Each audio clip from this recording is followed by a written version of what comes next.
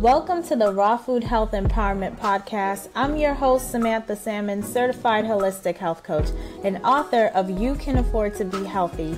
And this podcast looks at a holistic approach to health from a multi generational and multinational perspective of women of color. All right, so today we're talking about um, what to do when you're tired of smoothies for breakfast. um i don't know like what do people eat for breakfast normally? I mean i know growing up i i basically just had oatmeal and that was the staple every morning. I don't remember having the conversation i'm bored with breakfast. It's just oatmeal you had. You had oatmeal and sometimes you had porridge cornmeal porridge. And then some you have the cereal from the box Oh yeah, box cereal. I remember very well. Mm-hmm. And you used to have your favorite cereal, but we we passed that now. That's behind us. Yeah, I had I had honey nut Cheerios and frosted flakes. We I don't think. do cereal no more. Right. That's out to the door. So basically, let's say I had four different breakfasts and it switched up. Okay, so then I didn't have the conversation. Do you have like a series of breakfast options that you rotate through so you don't get bored? Yeah. Um, because I don't, I'm not afraid of my kitchen. So in my situation, it's a little different. Um, take for example, um, this morning I had a bowl of freshly fixed oatmeal with banana and strawberry. Um, what kind of oatmeal you use? Uh, the, the, this morning I use the old fashioned, but yesterday morning I had the steel cut oats. But let's say tomorrow I want to switch up. You know I do the vegan pancakes. How you and make your how you make your pancakes? I use Dr. Mills oatmeal, oatmeal, um, oatmeal flour or I use um, buckwheat flour or sometimes I use um, almond flour.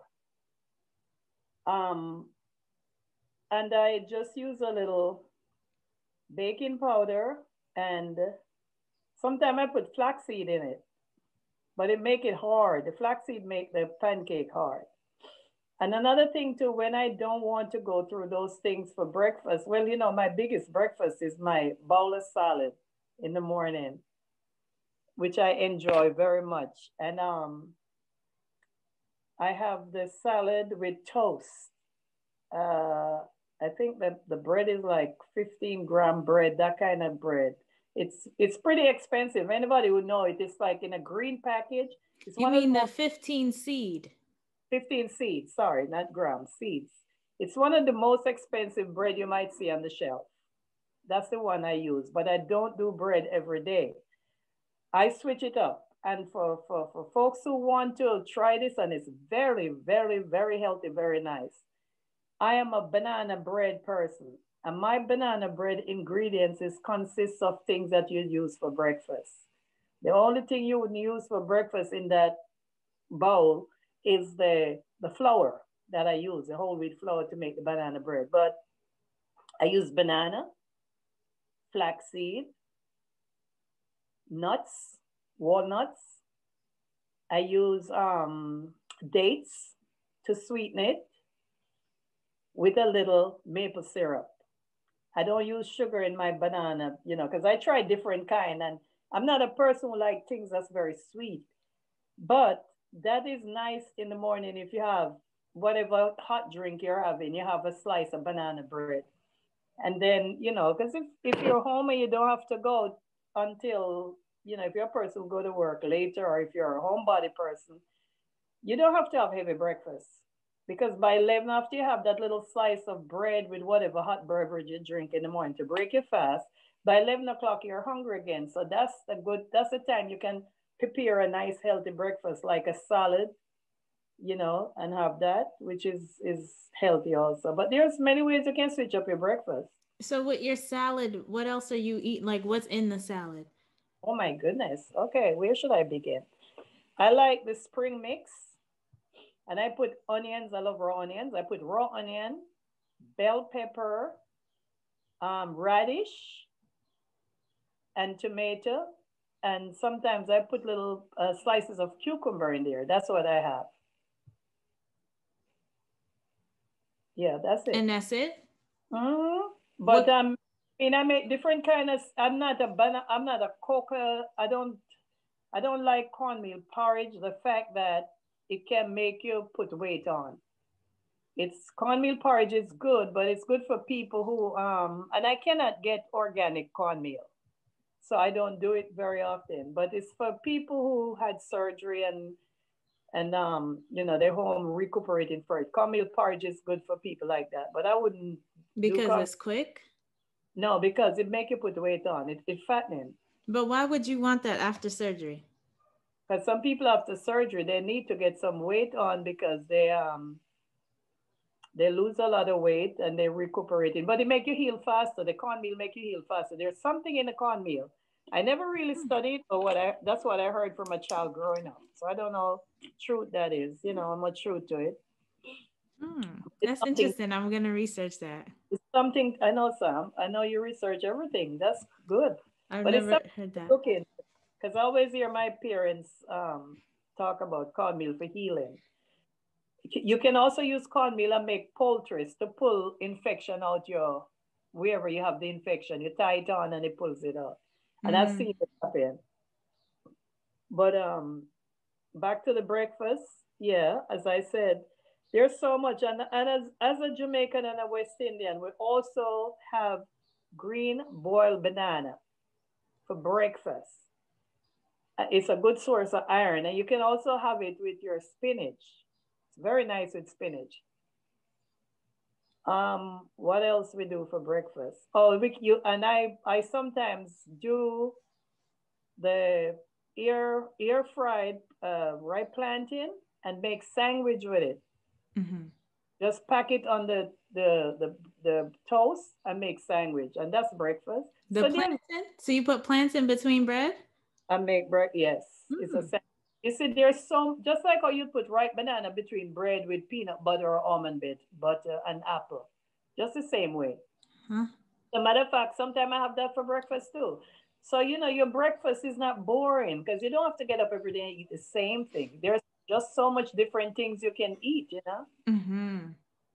so much, and and um,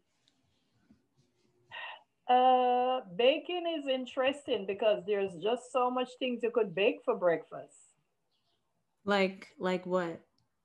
You can you can bake um patties, vegetable patties. So you eat vegetable patties for breakfast? When I bake them, yeah. But you see, I have time now. But for people who's on the run, that's a, a different thing. Yeah.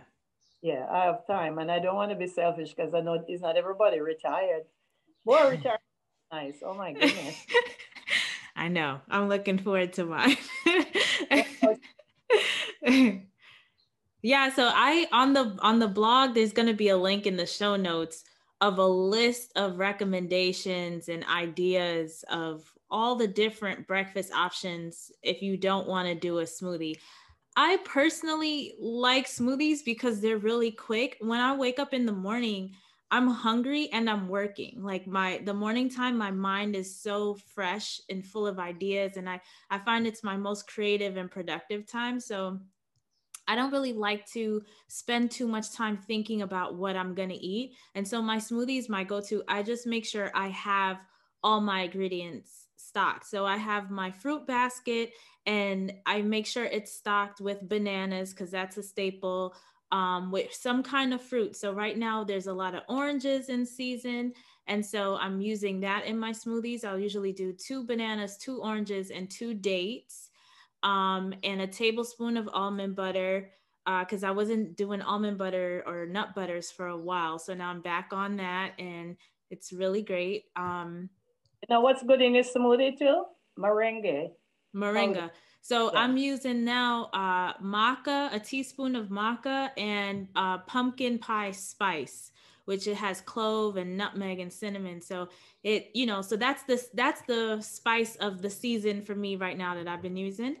Um, and I just rotate it. So, and I'll, I'll put greens in there also. So before I had kale, I had mixed greens. Now I have romaine in the fridge. And so I'm putting romaine in there, but I always have some kind of greens and I rotate the greens, I rotate the fruits.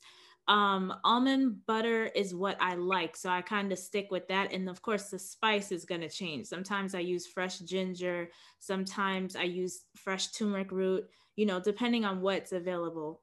And no, so, that's be- yeah, because I switch that up, you know, I'm not, I'm not having the same flavor all the time but I am having a smoothie pretty consistently. Now, if I have bananas and none of them are ripe, then I might have something different. Like I'll have like you you were talking about savory dishes.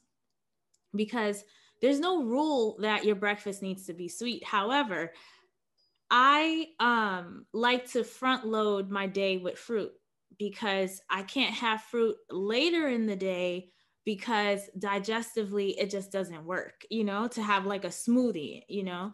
Um, and i know i'm gonna want the the smoothie just packs a lot of um, you know uh, just enough sweetness to satisfy me for the day and it's filling.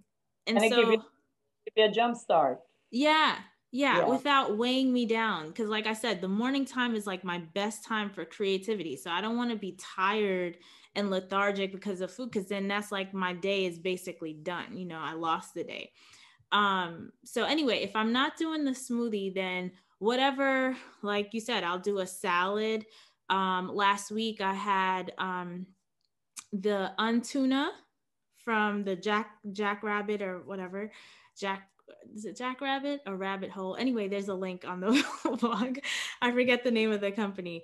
Um, but I put that on romaine lettuce with some um, bell peppers, and I've, I put it in a wrap with a collard leaf wrap, um, and made wraps with it. Um, and so, yeah, you know, I've done I've done the salad with avocado and seasoned with um, a tablespoon of olive oil, a tablespoon of apple cider vinegar, and garlic, onion um, powder and whatever spices, you know, sometimes curry spice or whatever, I'll season that, you know, salad, mix it up with some a half of avocado slice and um, and a, a, side of sweet potato or something, which people have seen on my social media posts. You know, that's a breakfast. So it's you know you the the limits on it is only what you put on it. Breakfast is basically breaking a fast, right? right. And my preference is to break a fast yeah. with um, raw foods with fruit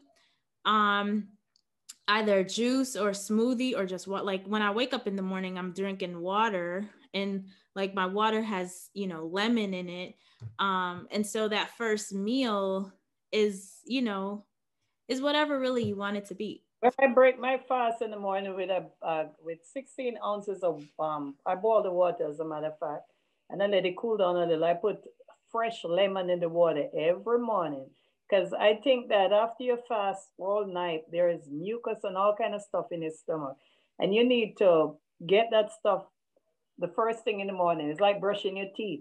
You need for that to go down and cleanse your inside, and mm-hmm. it works perfect. It, it works like magic for me. Oh, but we're going back to the breakfast thing. They say they have an old time saying that you should eat breakfast like a king. And while you were talking about the smoothie, people who don't like salad, I have a tip for them. Take your salad. Don't season your salad though. Just take your salad, like your spring salad. Make your smoothie with it. Put all the stuff you want in there, except salad dressing. and you have a beautiful um, breakfast. Because a lot of people don't like salad. Yeah. So you can use your romaine and whatever you want to use and make a smoothie with it. And then you have you don't have to worry, you get your salad in. Yeah, my theory on the salad, why people don't like it, is because um, they haven't pr- created it in a way where they could like it. So, like greens for most people by themselves, I'll take a green I don't like, right? Because kale, I just love. I could just eat it by itself. It's just so good. But let's say something like spinach, which thank God it's high in oxalates. So I'm not even eating it anymore, you know, because high oxalate foods, you know, are bad for the they they they basically hinder the absorption of iodine, which you need for um, healthy thyroid function. And you know, grandma had a history with thyroid stuff, so like you know, I just I feel like you know I'm just you know limiting spinach, and I'm okay with actually just not having it right now. Um, but spinach, you know, because like because it's my least favorite green spinach um you know I this is basically how I started in the beginning because I didn't like vegetables. I would put it in a smoothie with fruits and stuff that I like. But when you're making a salad, like with spinach, I would do a dressing that is really good. So like tahini, and we did an episode on this on some great salad dressings. Um, which I'll link in the show notes, like using tahini as a base, or you could even use almond butter as a base and with some different seasonings and spices. Um, you could even do uh, a buffalo if you like um they have this thing in the in the restaurants this uh buffalo cauliflower right mm-hmm. so they have the buffalo cauliflower i've seen buffalo cauliflower wraps you can do a, a buffalo sauce with you know on on cauliflower put that on your bed of greens and you like the flavor of the buffalo sauce, right? And it's on these vegetables, and so it makes it taste good. Which is why I dress I dress my salad with apple cider vinegar because I love it. Apple cider vinegar, olive oil, and the spices that I mentioned because it makes it taste good. It's like it's it's a seasoned meal and you want to make sure you add enough stuff to it so you feel satisfied. So that's where the sweet potato comes in or the plantain that you make in the air fryer or um you know having something more substantial like the if you're gonna do because i i am making um either today or tomorrow uh buff uh, brussels sprouts with buffalo sauce because i'm not really a fan of cauliflower the buffalo cauliflower i've had at like restaurants in the the health food store they they have ready-made food it's like they they they fry it so they put stuff on it and they fry it and basically, what you're eating is like the cauliflower has gone through enough denaturing where you're no longer really tasting cauliflower. You're basically eating the skin of it, and it tastes great, right? But Brussels sprouts, I love, right? Um, so I figure, okay, let me try this. And so that's what I'm gonna try. And I'm gonna put it on a bed of greens and that's enough you know? I know for me that that's going to be sufficient but i also got japanese sweet potato because that's my favorite and i haven't had sweet potato i feel like in months. Or chinese. Japanese. Oh i just had a i just had um three slices for snack a while ago and some um what do you call that? Um that tea we drink? Hibiscus hibiscus but it's a sorry light drink uh, it was ah. Yeah, because yeah. it was a was about lunchtime, so that's how light lunch is. Because I had my big bowl of cereal for breakfast mm-hmm. with the um. But in, you know, your breakfast meals can be whatever you choose to have for breakfast. Because you can have you can have your dinner for breakfast for people who don't know it, and it's the best time. This way, you'll you'll eat your last meal in the evening can be like a pauper. You know what mm-hmm. I mean? Mm-hmm.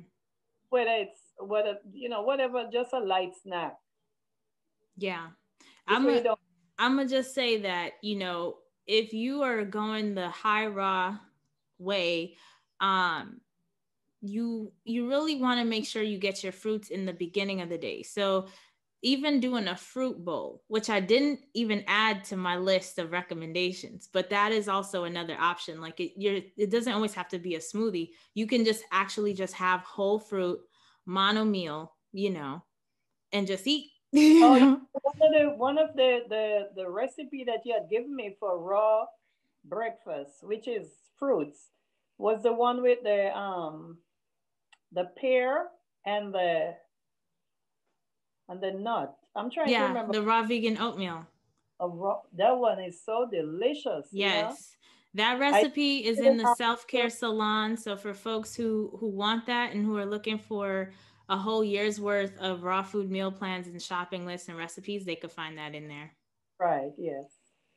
Yeah, and there's a link in the show notes to that. So and, and you know, people who really going raw want to get their fruits in. A fruit bowl in the morning is nice because fruits can really fill you up. Uh, some people can't do too much citrus. I'm a citrus person. I can have a whole bowl of citrus and, you know, but, you know, there's other fruits like blueberries with strawberry and banana make a beautiful breakfast by itself. Mm-hmm. Just put it in a bowl because I eat that too. That's what I'm saying. Like, I, I never feel like breakfast is boring. Not for me because you can change it up. You get up every day, you can have something different. Yeah. Yeah. Yeah. And when blueberries are, you know, affordable in season and abundance, that will usually be my whole breakfast. I've had whole breakfast of just a whole pint of blueberries or a whole like big plate of grapes, you know, however much is in the bag, or cherries. When cherries are in season, I just mono meal on cherries for breakfast. Um, yeah, I know you. I what? You cut off. You're a blueberry person. Yes, yes, I am. yes, I am. Um, and so yeah, so there's just so much. As long as there's fruits and vegetables, you know, you can't really run out of options. I mean, I just don't. I don't see you getting bored because I've been hearing a lot about this boredom situation. And I feel like if you get bored with all of this, and even the stuff you're doing, like you decided to put plantains in between bread. Like I would never think to do that. Yeah, but you have because you're like, in order to enjoy your food, you have to be creative with it. Yeah. Creativity is one of the the one of the most important step in life, you know? Yeah, yeah. And you know, like for me, I don't have um breads, uh wheats and things because you know my system doesn't oh, like that. Huh? How about breadfruit? Well, yeah, and breadfruit is is completely different than actual bread. So bread. unfortunately, over here in in um, LA, I don't really have access to that, unfortunately. But um, the the the point I was making is that you know some would say maybe I'm limited or whatever, but this is a choice right like if i if i eat even steel cut oats which i think i said on the podcast before steel cut oats you know, I don't gain weight. Regular oats, I gain weight. Steel cut oats, I don't gain weight, but I still have digestive issues with it. Um, however, there's even with that exclusion, there's all of these options. So it's just a matter of of choice. Like, do you want to deal with the consequences of things that you used to eat and you used to enjoy, or would you rather just embrace the vast options you know that your body actually agrees with you know? Do you recommend um do you recommend apple cider vinegar? Yeah so um the guy anthony williams we were talking about him before and he was saying apple cider vinegar is no good because and I'm forgetting now even the reason, right? And so I didn't have it while I was experimenting on my body with the no fats and, you know, just deep cleansing, whatever. But there is a lot of research to show that if you are looking for weight loss, it's very beneficial. But it has all these other benefits. But I know a lot of people who um, are who listen to the podcast are interested in weight loss, right? So, um, but what I don't do is drink it.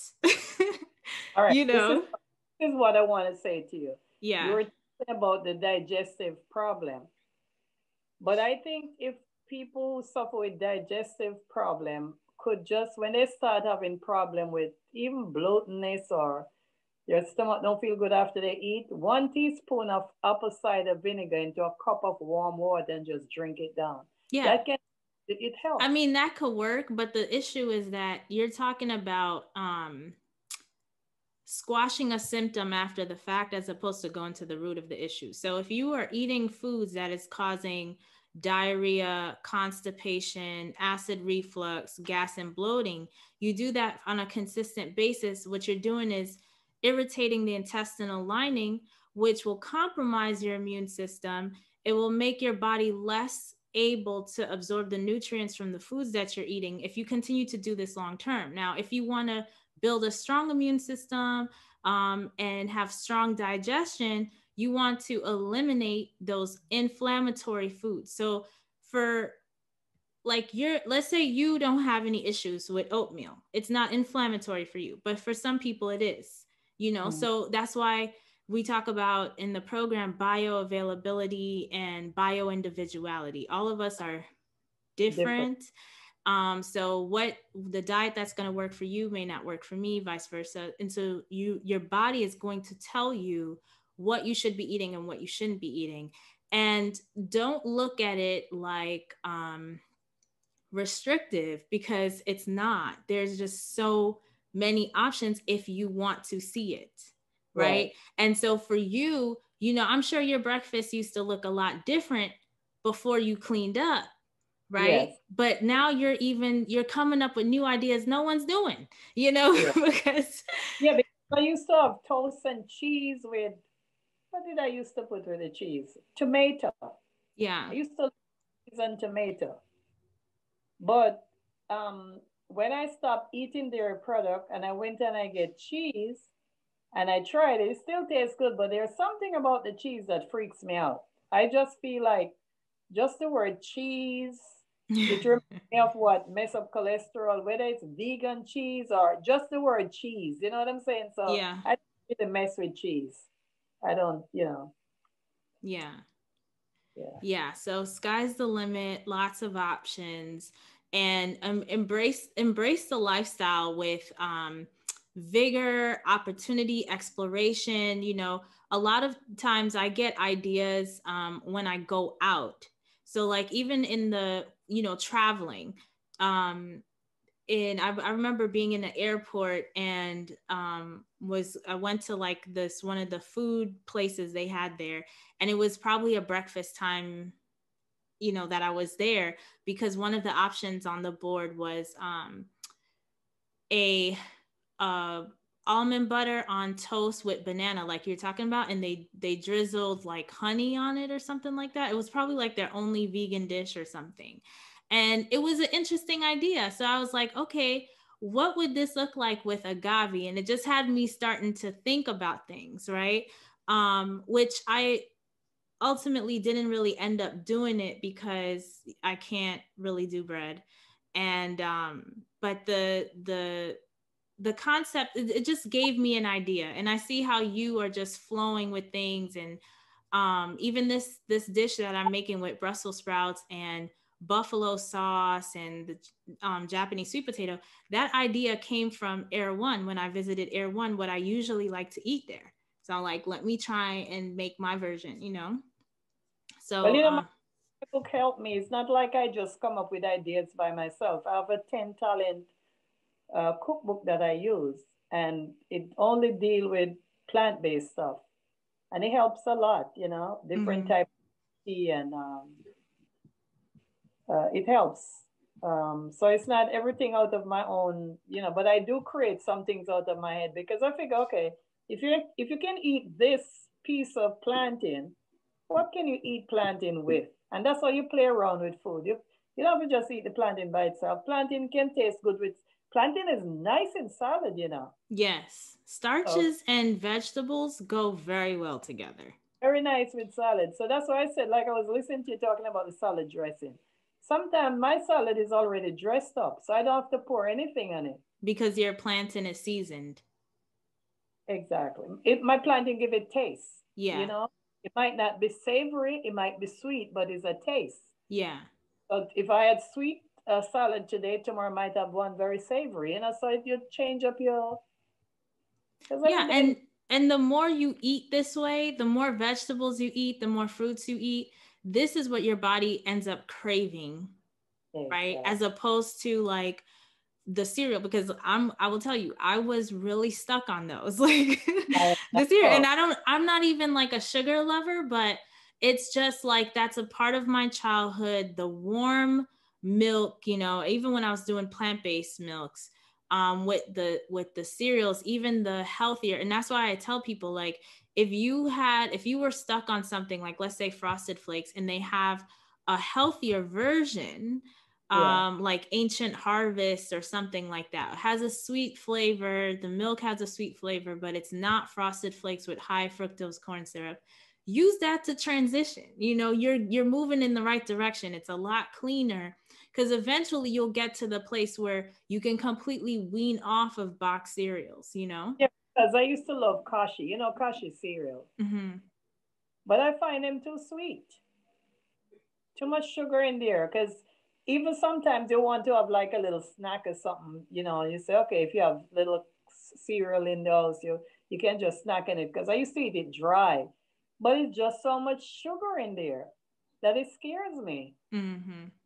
So those are the things I recommend for people to have for breakfast because it the, the sugar just kill your energy right there. It's not the good type of uh, sweetener, you know. Yeah, yeah. My refined sugar for me is a complete downer. Like I my brain no longer works. Productivity right into the ground. Like it just so um and I I actually put post-it notes on the wall like you cannot handle refined sugar. this is me coaching myself like you cannot handle because I was just feeling the effects. And I remember like I said um I think it was last year on a podcast how much I love So Delicious ice cream. I would love to work for them because they're they're just their their ice creams are so good, right? And they are really good, but I can't my my body can no longer handle and I and I don't feel the need for ice cream. Me too, because you asked me about that too. I don't. I I used to love ice cream. Three o'clock in the morning, I remember I have it in the fridge. I'll eat it. I went out. I bought vegan ice cream. that thing is so sweet. I say, you know, forget it. I don't need to have this. Yeah. No, I don't. I don't do ice cream. Too sweet. Too much sugar. I, I think. You see, after you cut sugar out your diet for a while, it's hard for you to, you know like when I baked the last um the last banana bread I made, I used dates. And I just figured the dates alone will make it sweet enough. So I used some um maple syrup with it. Well, I think maple syrup is still sugar. That's just how I feel, but I didn't use a lot, you know. And it's a big bread. And but I know bananas are sweet. So with the banana and the um and the, the, the dates and the maple syrup, it tastes pretty good. And I know it's healthy. Mm-hmm. Yeah, because it made with flaxseed and all the other good stuff in there. So I know that's healthy. Yeah. But for those people who listen and wonder what they could bake to make them last them a whole week, a nice banana bread. Yes, that's the trend right now, apparently. banana bread. It's the trend, right? Yeah. Yes. Yes. Do you have any closing words? Oh, um, on this journey, just stay physical, stay physical in everything that you do. Even when you're preparing your breakfast, dance. That's a nice way to be in the kitchen. Even if somebody laugh at you, just dance. Just move around and do your thing, you know? Stay active, stay physical, laugh sometimes. Laughing yeah. can you up too, you know? Laughing don't make you hungry.